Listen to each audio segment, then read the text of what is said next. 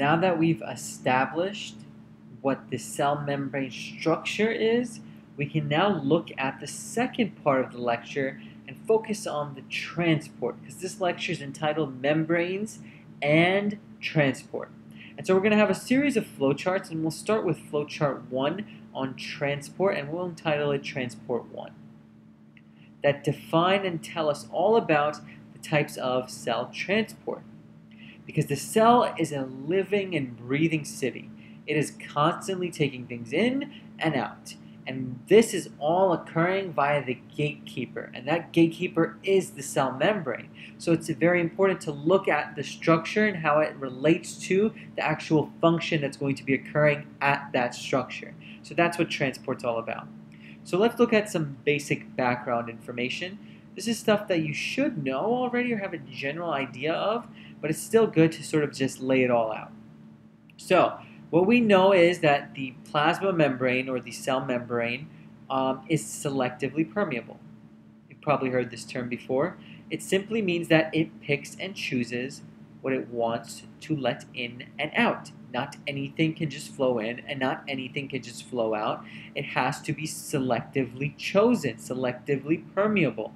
And so this relates and gives us overall, we've defined basically two types of transport because of this selective permeability.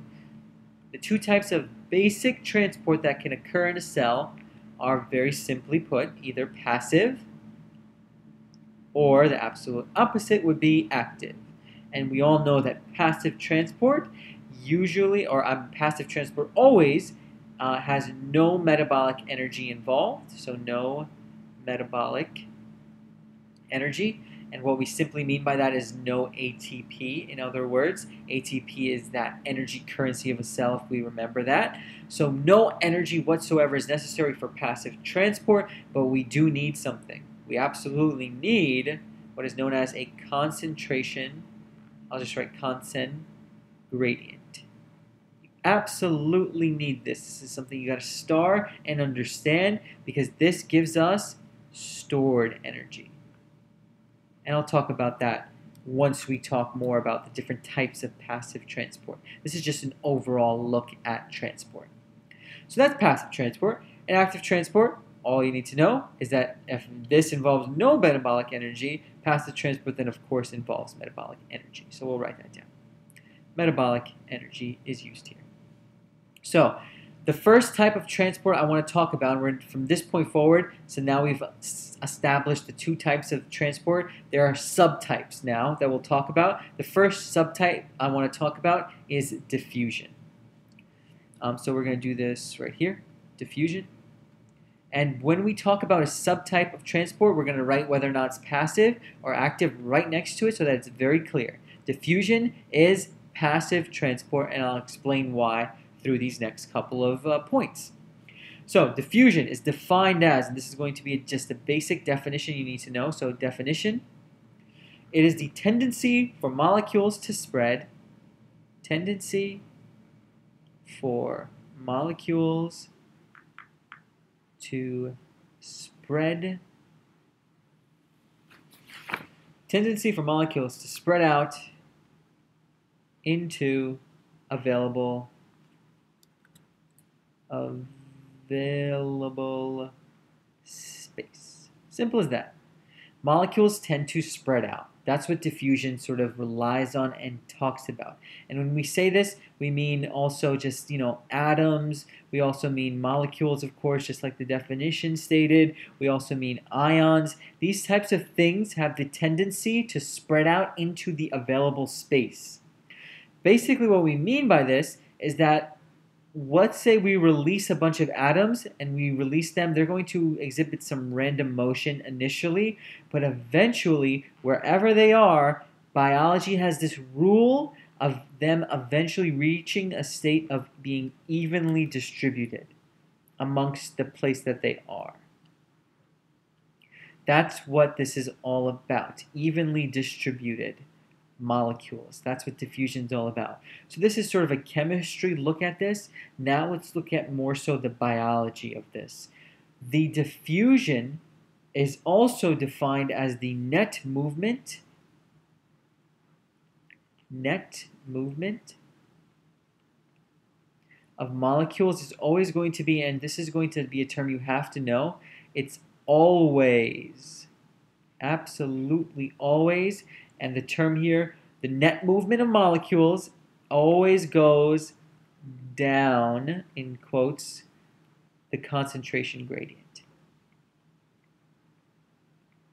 That's just a rule and a law you have to understand.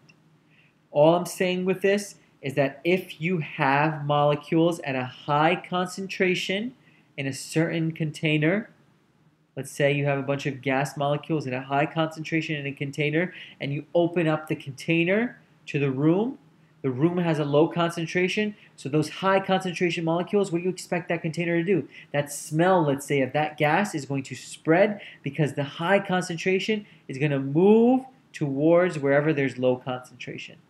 This is what we mean by moving down a concentration gradient. This is going down a concentration gradient, and this happens until equilibrium is reached. So until equilibrium is reached. And we all know that equilibrium is the point at which, let's say, we have an even distribution. Because remember, I said that the molecules want to be evenly distributed. Where did I say that? Right over here. And so once we have that, then we have equilibrium. And we have equilibrium when we go from a tons of high concentration molecules spreading to the lower concentration areas. This spreading, this net movement is called moving down a concentration gradient. Um, what I'm going to do is just clear this very quickly um, so that we can finish off this video of talking about the exact diffusion that occurs uh, because I ran out of space. So we're still talking about uh, transport 1, still transport 1, but uh, also still talking about diffusion. The specific biological type of diffusion that occurs in cells is known as simple diffusion. That's a term you need to know.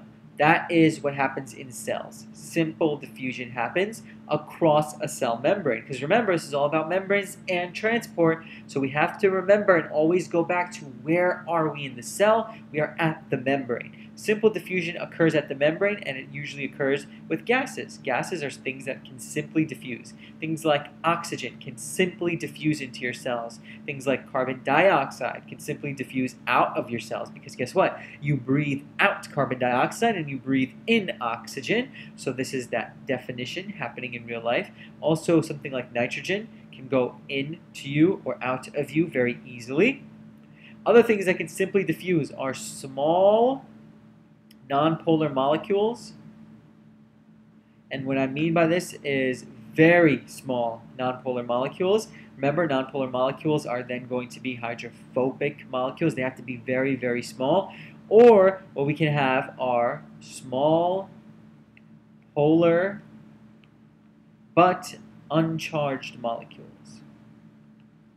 Can also simply diffuse and one of those very small polar uncharged molecules, a very famous one, is H2O.